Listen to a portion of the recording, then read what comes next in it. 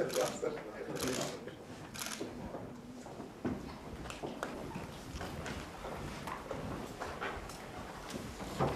さに今そのことを申し上げようと思ってまして岩野区当時の日本の方々をモスクワで感謝していただ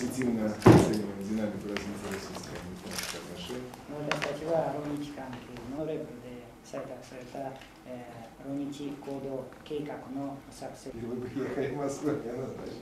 Или вы приехали в Москву, я назначен секретарем Совета Безопасности.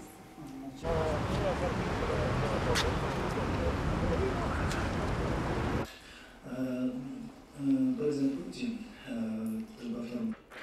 あのまあ、これにはいくつかの理由があると思いますけれども、その一つとして、えー指摘をしたいのが、えー日露の両国の間には、その領土問題というものがあって、それがその心理的な、